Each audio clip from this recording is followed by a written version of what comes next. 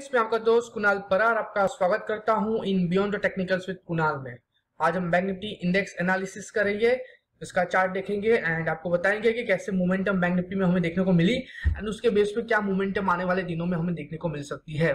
उससे पहले दोस्तों, अगर आपको वीडियो पसंद आए तो प्लीज़ लाइक कीजिए शेयर कीजिए एंड सब्सक्राइब कीजिए विथ योर फ्रेंड्स डिस्क्रिप्शन में हमने टेलीग्राम की लिंक दी है, जहाँ पे हम daily chart update and fresh recommendation देते हैं।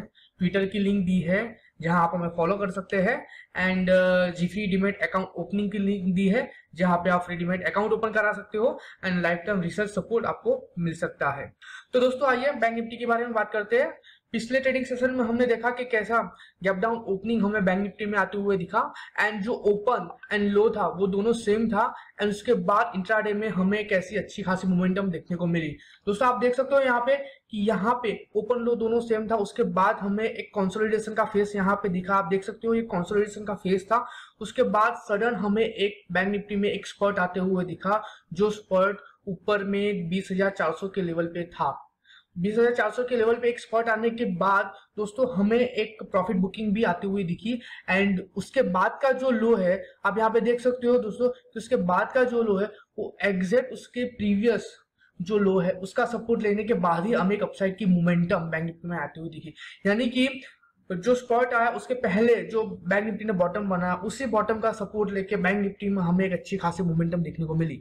एंड उसके बाद आप देख सकते हो दोस्तों कि एक अपर राइजिंग चैनल फॉर्मेशन जैसे फॉर्मेशन में बैंक निफ्टी ने अपनी मूवमेंट दिखाई एंड काफ़ी अच्छी मोमेंटम हमें बैंक निफ्टी में देखने को मिली एट द एंड हमें इंट्राडे हाई पे बैंक निफ्टी ने अपना क्लोजिंग दिखाया। इसके साथ साथ अगर दोस्तों मैं कुछ बैंक की बात करूँ H D F C bank है आईसीआईसीआई है इंडिया सिन है कोटक है बंधन है आरबीएल है एसबीआई काफ़ी सारी बैंकों ने हमें एक अच्छी खासी मोमेंटम एक अच्छी खासी रिकवरी हमें during the intra trading session दिखाई।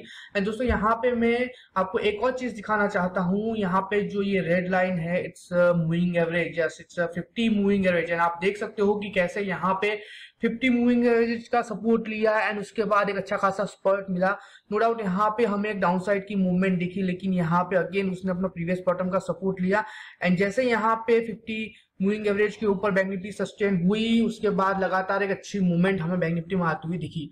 हमने पहले भी मूविंग एवरेज के बारे में डिस्कस किया था। आज भी मैं आपको दिखा रहा हूँ कि कैसे मूविंग एवरेजेस काफ़ी अच्छी वर्क करती है ऑन इंट्राडे चार्ट दोस्तों हमने जो बात की डेली चार्ट इंट्राडे चार्ट था। अब डेली चार्ट की बात करते हैं दोस्तों, यहाँ पे बैंक निफ्टी ने ओपनिंग मारो भोजू कैंडलस्टिक्स बनाया है which is police candlesticks and दोस्तों, यहाँ पे अगेन आप देख सकते हो कि ये जो रेड लाइन है it's fifty moving average and Bank Nifty ने ये जो मूविंग एवरेज है, उसका ही सपोर्ट लिया है। और उसके बाद काफ़ी अच्छी मोमेंटम हमें बैंक निफ्टी ने दिखाई है। यानी इंट्राडे चार्ट पे भी मूविंग एवरेज के ऊपर सस्टेन होने के बाद अच्छी खासी मोमेंटम दिखाई।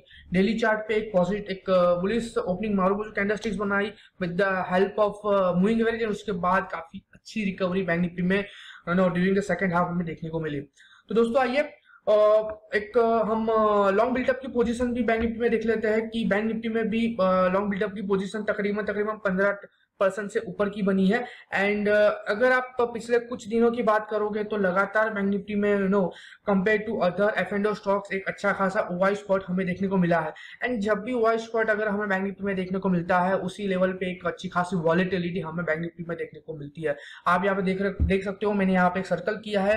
फिफ्टीन का ओवाई स्पॉट हमें बैंक निफ्टी में दिखा है। एंड उसी लेवल पे अगर आप बाय क्वांटिटी सेल क्वांटिटी का भी अगर कंपेरिजन करोगे तो आपको पता चलेगा कि किस हिसाब से buy quantity quantity is double than the sir quantity तो जो एक ऊपर की मूवमेंट हमें देखने को मिली, वो किस बेस पे देखने को मिली, आपको यहाँ पे पता चल सकता है।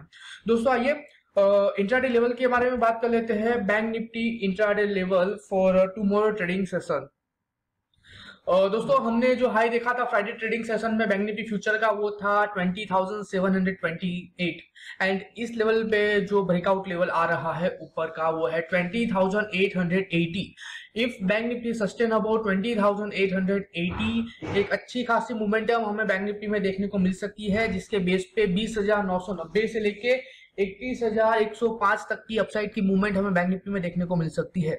जबकि उसी लेवल पे, उसी टाइम पे डाउन साइड पे जो सपोर्ट हमें दिखने को मिलेगा, वो है बीस हज़ार सात सौ पचास का।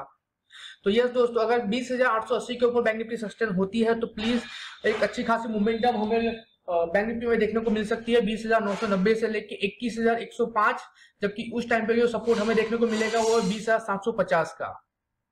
एंड दोस्तों, अगर शॉर्ट के लेवल की बात करें तो बीस हज़ार तीन सौ सत्तर ट्वेंटी थाउज़ेंड थ्री सेवेंटी के नीचे अगर बैंक निफ्टी सस्टेन होती है तो हमें एक डाउन साइड की move for the intraday perspective दिख सकती है। अगर बीस हज़ार तीन सौ सत्तर ट्वेंटी थाउज़ेंड थ्री सेवेंटी के नीचे अगर बैंक निफ्टी सस्टेन होता है तो ट्वेंटी थाउज़ेंड टू सिक्सटी से लेकर twenty thousand one hundred forty five तक की डाउन साइड की मूवमेंट हमें देखने को मिल सकती है।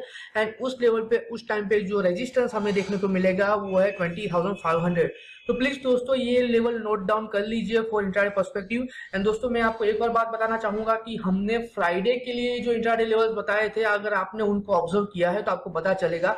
नो डाउट बैंक निफ्टी ने गैप डाउन ओपनिंग दिया था, लेकिन अगर आपने फ्राइडे के लेवल को ऑब्ज़र्व किया तो आपको पता चलेगा कि फ़र्स्ट हाफ़ में जो हाई बना था, वो एग्जैक्ट हमारे रेजिस्टेंस के पास था एंड वहाँ से ही बैंक निफ्टी ने हमें डाउन साइड की मूवमेंट दिखाई थी। तो दोस्तों, ये एक मैजिकल लेवल है, इसको आप फॉलो कर सकते हो for trading perspective so friends अगर आपको ये वीडियो